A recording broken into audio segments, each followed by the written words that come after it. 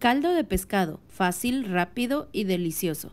Esta receta es para 3 o 4 porciones. El tiempo aproximado de la preparación es de 45 minutos a 60 minutos y los ingredientes que necesitas son un kilo y medio de pescado, en este caso utilizamos carpa, pero tú puedes usar el que más te guste. Tres tomates, media cebolla blanca, un chile serrano, un cuarto de chile pimiento rojo, dos ajos, una cucharadita de orégano seco, una ramita de cilantro, tres hojitas de perejil.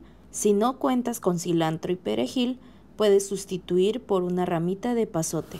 También necesitas un chorrito de aceite, aproximadamente dos cucharadas, sal al gusto y un litro y medio de agua. Comienza colocando sal al pescado y después corta los tomates, la cebolla blanca, el chile serrano, el chile pimiento rojo y los ajos en cubitos o en tiras, como tú gustes. Al tomate y al chile serrano le quitamos las semillas. Después en una olla agrega el aceite y coloca las verduras que cortaste. Mezcla y deja que se sofrían por unos 8 minutos hasta que suelten todos sus sabores. Ya que las verduras estén súper suaves, es momento de agregar el litro y medio de agua, así como el orégano, la ramita de cilantro y el perejil.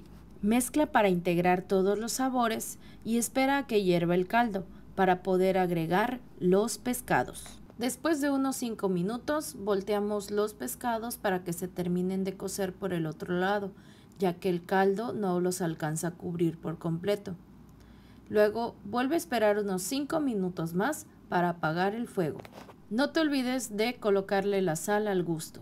Aquí agregamos dos cucharaditas. Sirve y acompaña con totopos o tortillas de maíz frescas, limón, chile habanero y, por qué no, una cervecita bien fría. Recuerda seguirnos en nuestras redes sociales como Sazón con Amor.